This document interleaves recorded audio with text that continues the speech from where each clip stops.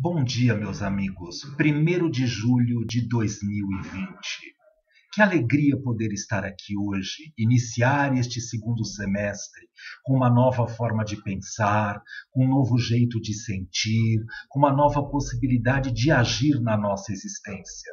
Sabemos que estamos atravessando um período não muito fácil da nossa oportunidade de existir neste planeta, neste momento mas nós podemos olhar para o nosso momento e analisarmos: vou ficar apegado no primeiro semestre, chorando por tudo aquilo que eu não tive a oportunidade de realizar e concretizar, ou vou observar cada um destes obstáculos como oportunidades que surgem para destravar as novas chances de existir neste momento?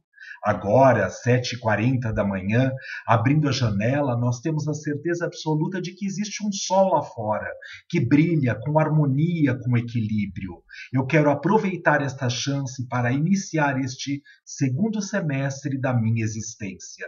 E você, como vai iniciar o seu segundo semestre? Pense, é grátis. Um minuto de psicoterapia transpessoal com Victor Lossac.